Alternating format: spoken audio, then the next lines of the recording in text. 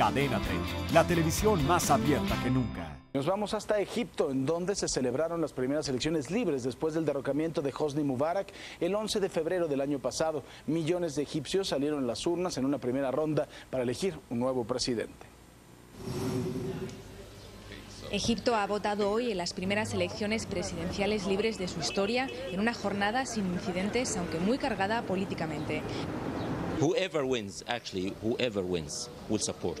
The Egyptian people will support whoever wins because we feel that this is really uh, the first real election. De los 12 candidatos, cuatro son los que llevan la iniciativa en las encuestas. Dos exmandatarios de la era de Hosni Mubarak, Amer Musa y Ahmed Shafik, un ex hermano musulmán, Abdel Abdel Futu, y el candidato oficial de los hermanos musulmanes, Mohamed Morsi, que promete repartir pan entre los pobres.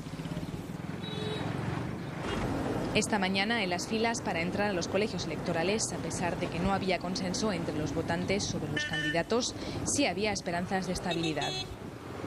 I think that things are going to go okay, but my problem is that we've got at least a good five to ten years of a lot of work to do before we get anywhere. A pesar de que durante la mañana tan solo acudió el 30% de los votantes, por la tarde los colegios electorales estaban a rebosar por todo el país. Las colas electorales además se han convertido en un hervidero de debates políticos en torno a los candidatos, algo inusitado hasta hace 15 meses cuando estalló la revolución.